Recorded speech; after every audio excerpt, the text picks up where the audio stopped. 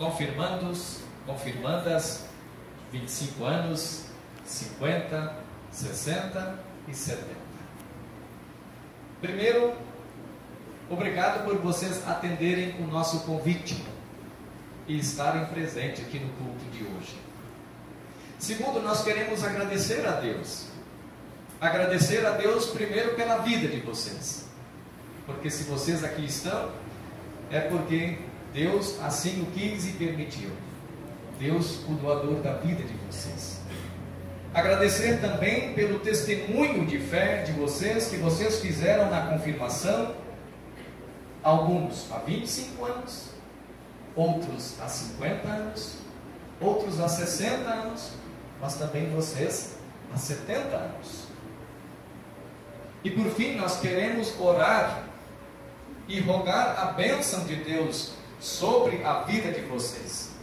Assim como aconteceu naquele dia em que vocês foram aqui neste altar, confirmados em nome de Deus, o Pai, o Filho e o Espírito Santo. Portanto, como não agradecer a Deus pelo dia de hoje? Como não agradecer a Deus pela vida de vocês? Deus que lhes presenteou com a vida. Deus que chamou vocês pelo nome no dia do batismo e fez de vocês filhos e filhas dele. Deus que por sua palavra chamou vocês à fé.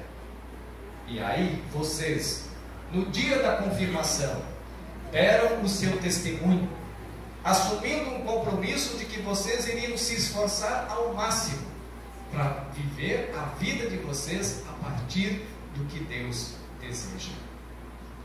Como ouvimos na pregação, produzir bons frutos.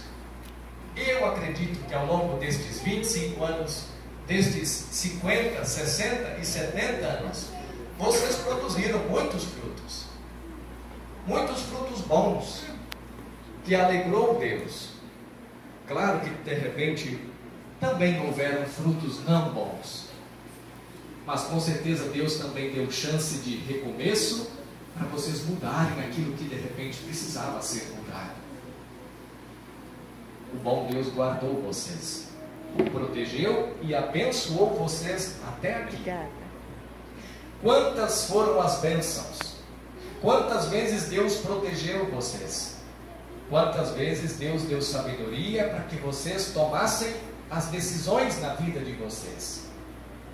Ou seja, Deus, com certeza, esteve presente em cada dia, em cada momento da vida de vocês até aqui.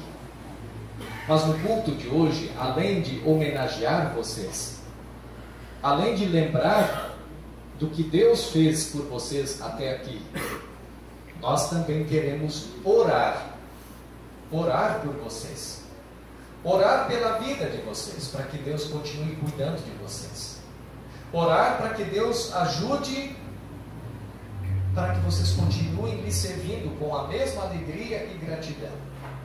Orar para que Deus conceda ainda sempre sabedoria nas melhores escolhas que vocês farão. Orar para que a fé de vocês continue ativa. E vocês, mesmo aos 80 e alguma coisa, continuem produzindo bons frutos. Eu brinquei um dia dizendo para servir a Deus não existe aposentadoria. A gente nasce e morre nesse propósito de ser de Deus, servir a Deus.